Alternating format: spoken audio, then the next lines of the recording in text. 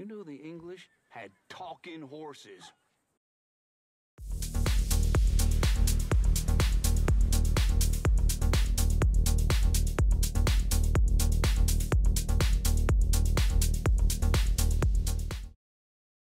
Howdy, viewers. Brad, proprietor of Barstool Entertainment, doing what should be my final Red Dead Redemption 2 video.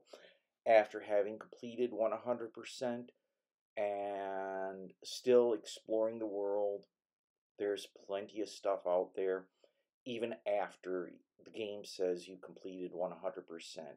I showed the final four horses, um, a few other things. I will probably leave some links below in the description.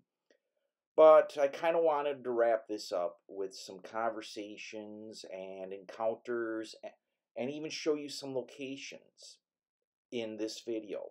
It's going to be a long one, so be patient. But thank you for watching. Let's get on with locations and conversations. What you reading, Jackie boy? It's uh, it's about knight. Nice. Brave men old England. That's ridiculous. What do you mean? Hi there, John. The English aren't brave, Jackie. Now, I once beat up six Englishmen in a bar in Canada and knocked them all out. Really? Oh, Why? Other accents just just gets on a fella's nerves, you know. I'll tell you something strange that isn't in that book of yours. Do you know the English had talking horses? You're kidding me. I never lie, Jackie boy. I met them talking horses in Canada. Brian was his name. There's just one problem, though. What? Yeah. Horses is boring as hell. Worse than Englishmen. it's true. Shut up.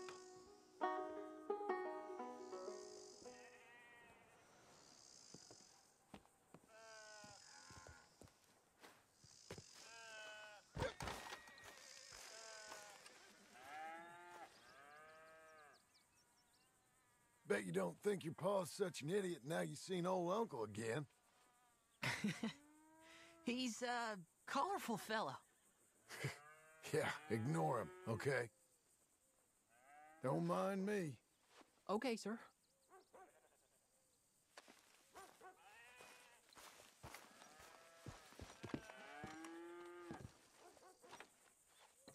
You're confusing the boy. Oh, he's fine. Confused already with you for a parent. Between you and me and everything else, there's no damn hope for him. You stay safe now. Well, we burned the breeze long enough, I reckon. That is actually what I love about Red Dead Redemption 2. You dip into someone's conversation, you interact. The world is so rich. You encounter a lot of different things and a lot of different people. And I've played this game three times, and I keep finding interesting stuff, including people you run into. How you doing?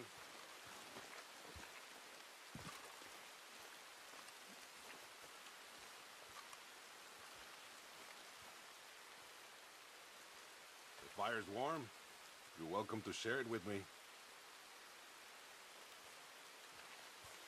You trust me then?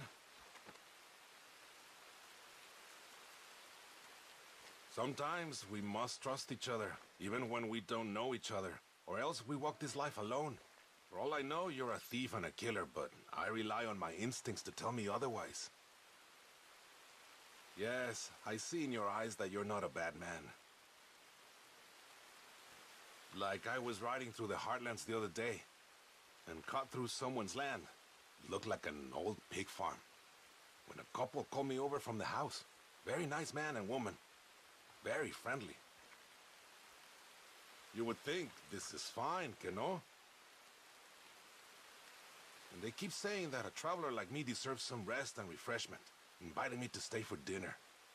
I was tired and I was hungry, but mi corazonada, the feeling in my gut said no. I don't know why, but I trusted it. Then the very next day, a man warns me to stay away from that place. So I live by my instincts. I'm also real fast with a gun, which helps me when the instincts fail me. Well, I've sat long enough. You rest here as long as you need.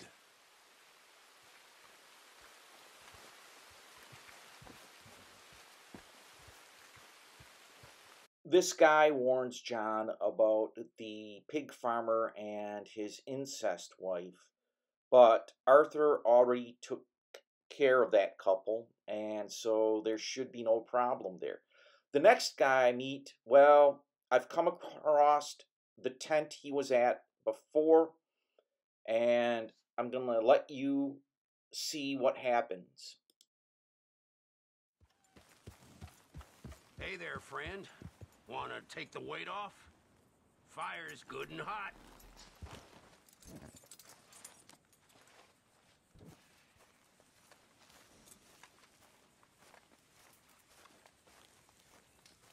Mi casa, su casa, friend. Thank you. So, you got a girl, mister? Me neither. Got my eye on one, though. I was hunting north of Annesburg when I came across this cabin. And there's no one there but this woman. Bit bony, but beautiful as the day is long. Real elegant, fancy type, too. I see how you like 'em too, friend. Don't know what she's doing out there in the middle of nowhere, but turns out she's a widow. She asked me to leave, but in a real nice way. M made me feel good. I watched her from the bushes for a while, saw her cry. I think this is a place I could really hang my saddle. A hot dinner and warm bed every night. Mmm, don't sound bad to me at all.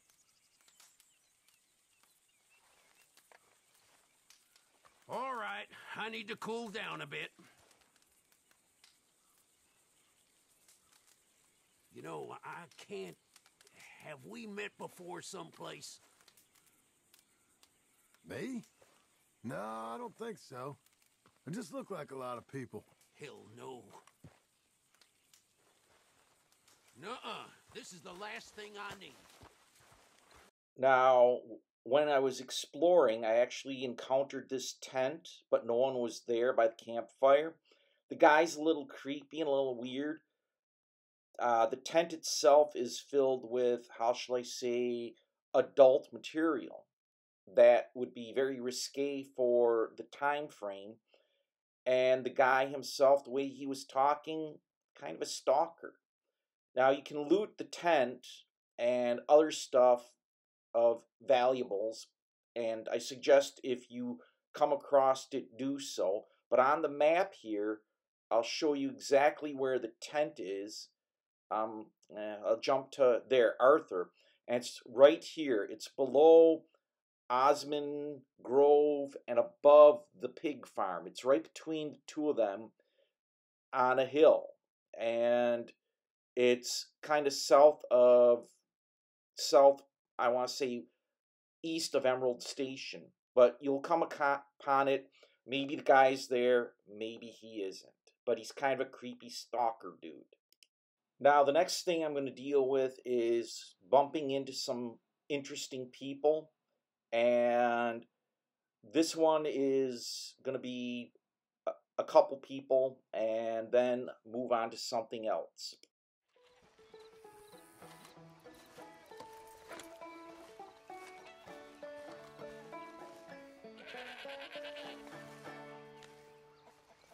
Hey. Hey, I like this song. You're okay, know that?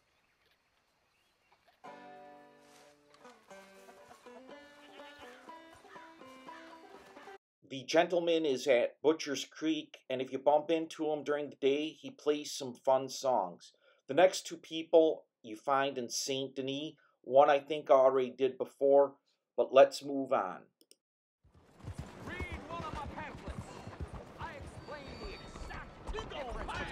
analysis using real science.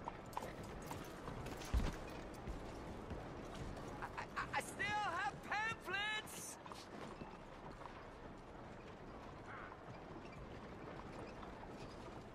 Howdy, mister. You, sir, do you want a pamphlet?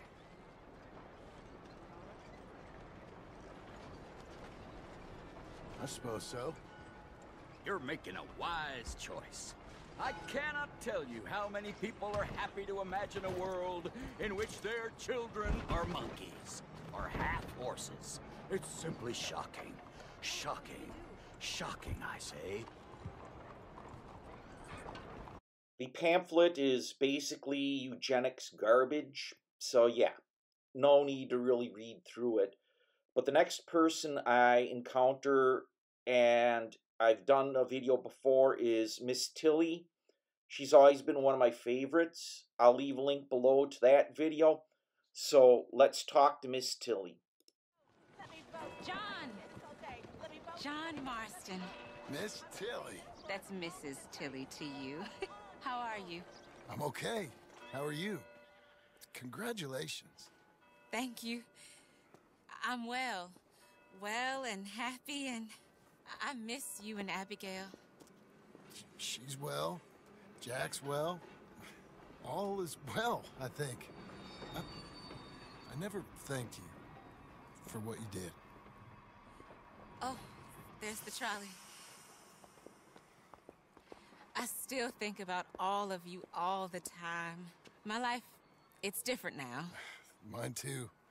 But I still see a bunch of Charles and Uncle and Sadie. So not quite so different as Abigail would like. I married a lawyer. He's a fine man. We live in a house. Us too. I'm sorry, I've got to go. I- I'm late. But can I write to you and Abigail someplace? Uh, Yeah, we're up at Beecher's Hope over in Great Plains, West Elizabeth. I'll try. Be well, John Marston.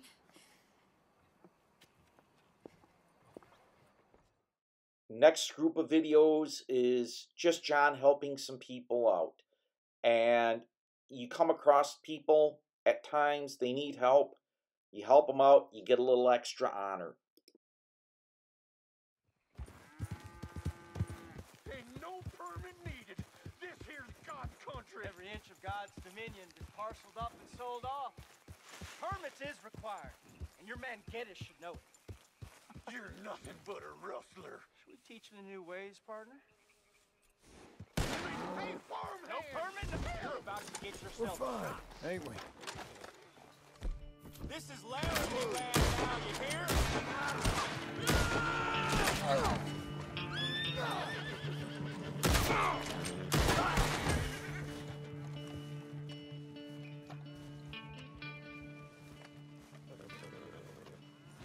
Just some cattle rustling. Don't know if I did any good, but took down some Laramie brothers and whatever they are. See if I can uh, get me some gold. Anyway, the next one is John. He's helping out some people who are being accosted by bandits. You ain't got much taking.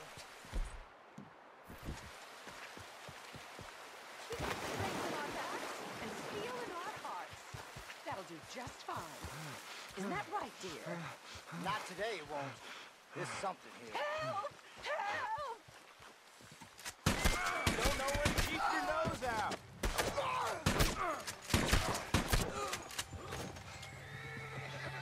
Will you look at that? Thank you, sir. We'll keep you in our prayers. Wow, used the varmint rifle on these guys. Well, I helped the couple out. John gets some honor and a few dollars from the bad guys. Now, the next things I'm going to show are just random encounters you can find in exploring. This one is a church outside of Armadillo. There's guy burning bodies. Yeah, this is interesting. Oh.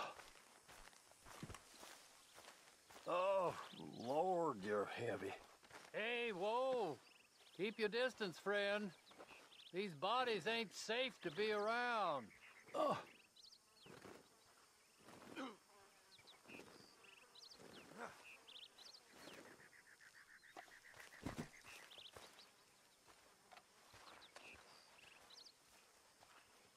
What's wrong with them? Aside from being dead. You ain't heard about the cholera plague in Armadillo? Most of the towns either died or up and left.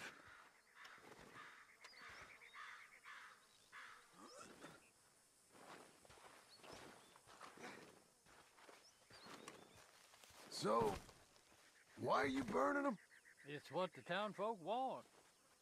Trying to stop the spread. Terrible business. But lucrative, I have to say.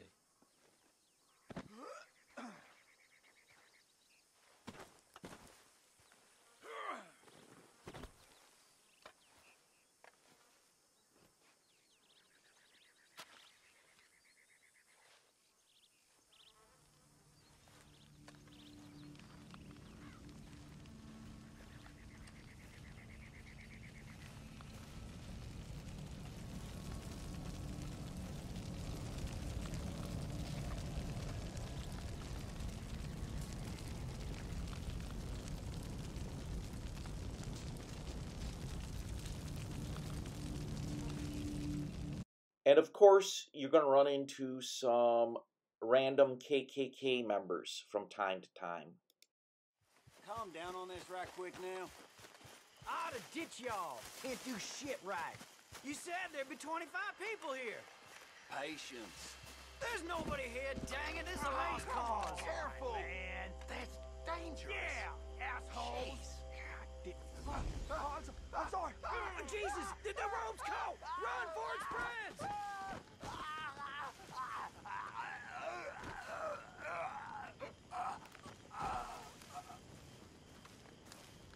And now a really interesting encounter I had while playing as Arthur. I was by Willard's Rest and I came upon a dude leading an ox. Very, how shall I say, Skyrim. And at first I thought the guy was leading the ox, but eventually the ox kind of decided it wasn't going to follow him. And I decided to have a conversation and go from there.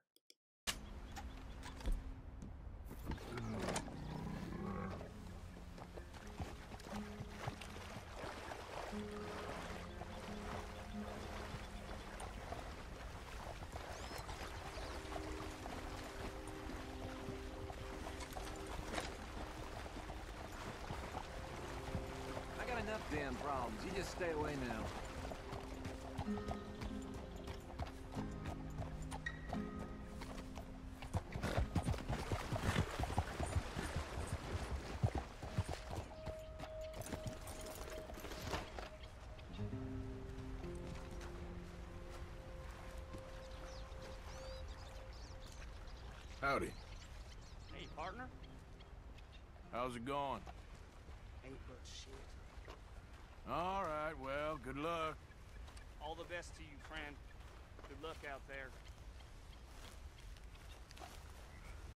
Ox was no longer following the guy, but it made an interesting choice.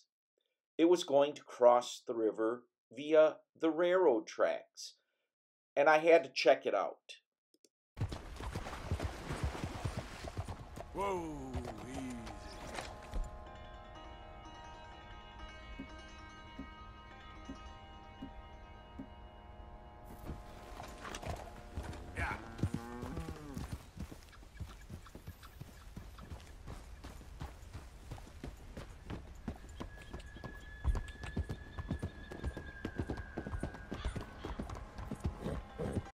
The ox was a three star, so you can never have too many three star ox pelts if you want to complete trapper um, items.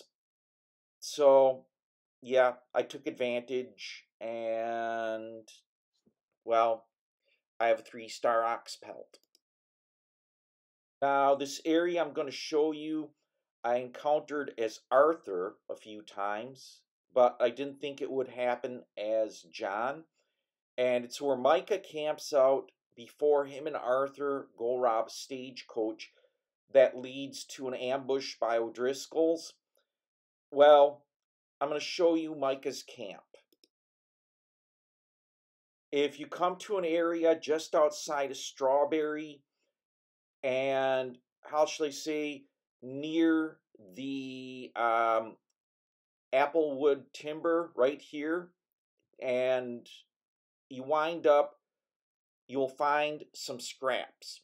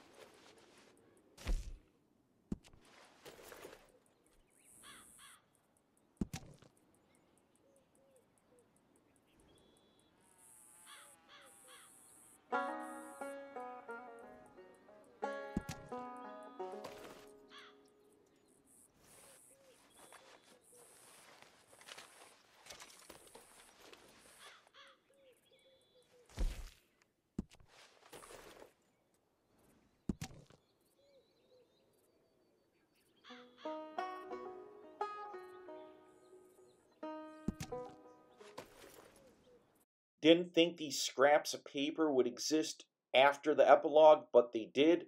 The next is I finally got the parakeets to spawn. In the past two playthroughs, I never got them to spawn. This time, I got them to spawn. What I did is I rode to the orchard. I rode back and forth along the coast, even pointed the gun into the air and looked out into the air Eventually, the parakeets did spawn.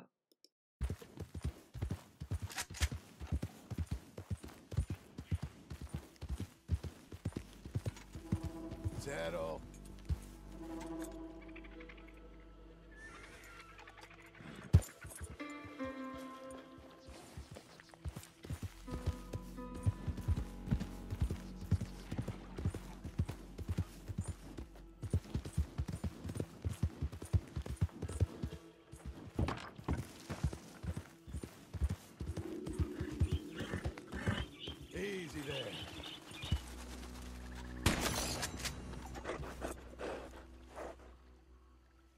Good riding, girl.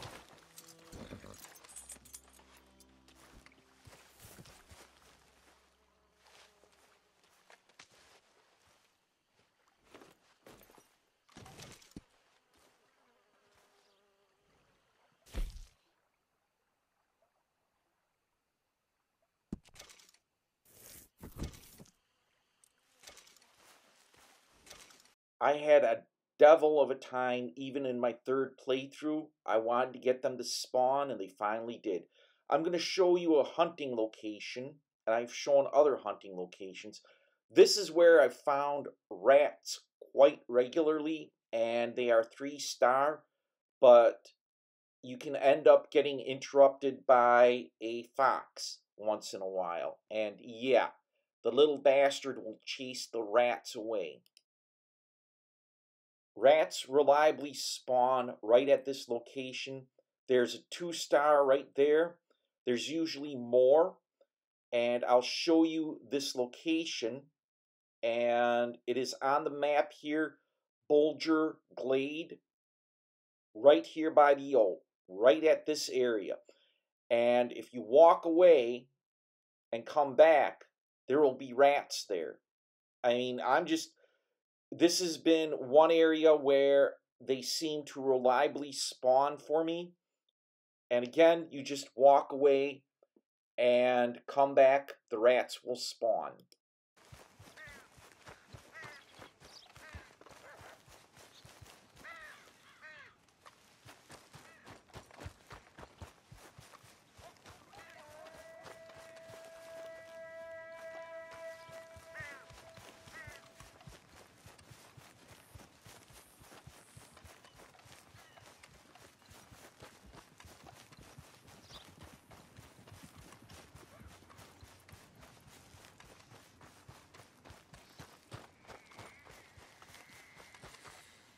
John has run away far enough. Now I'm going to put a marker down to get the location precise.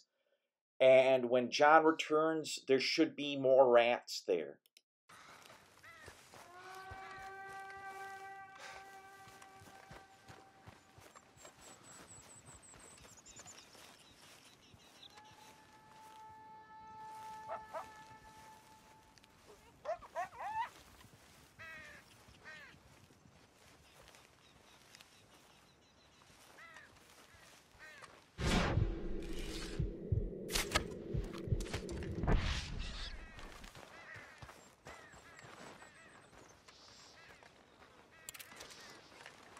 Again, that stupid fox screwed things up a little bit, but if you're quick enough, you can get a three star rat, maybe a couple.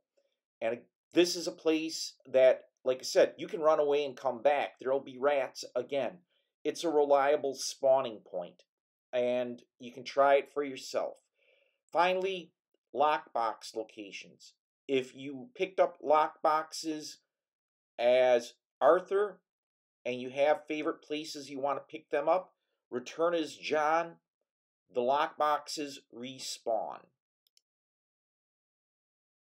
This location that I'm showing you is by Lake Owanjila, and it is the abandoned wagon. If you come to this place, you might find Guy panning for gold, but the lockbox contains gold nuggets. I found it as Arthur now I'm returning as John, and you can loot this lockbox.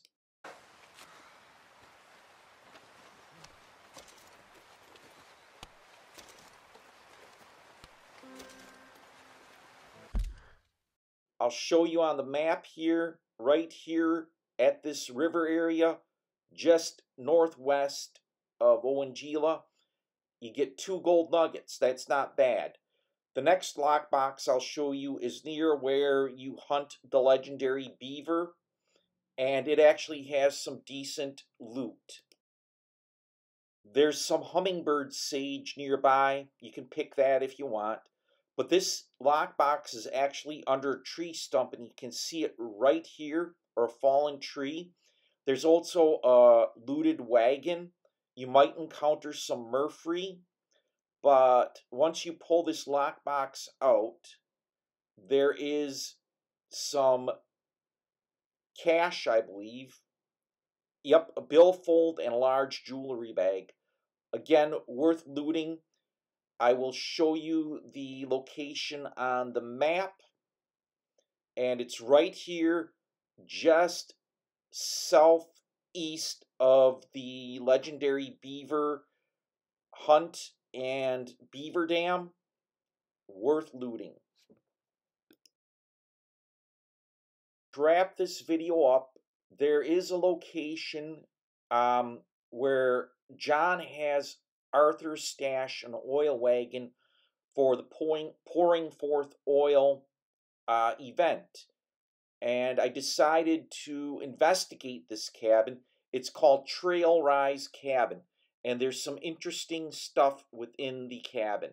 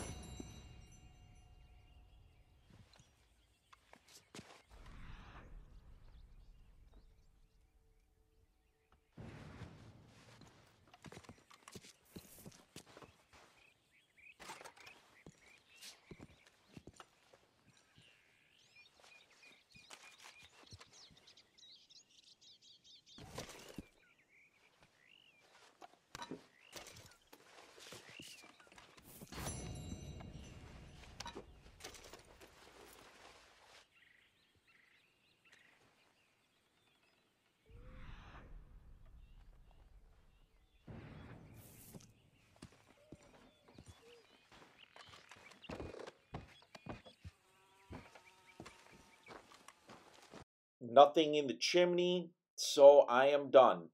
There is plenty of stuff around. Again, you're familiar with this location, Trail Rise Cabin. John has Arthur put an oil wagon next to it, and it's just above this stable. Well, viewers, this should be my final Red Dead Redemption 2 video for a while until I start my fourth playthrough. If you like this video and found it informative, hit the thumbs up button. Feel free to leave some comments. If you like this type of video, hit the subscribe button and bell icon. I post five video game related videos a week, Monday through Friday, plus some specials and other things on the weekends, and you don't want to miss out. As always, thanks for watching, thanks for subscribing, and most of all, thanks for stopping by.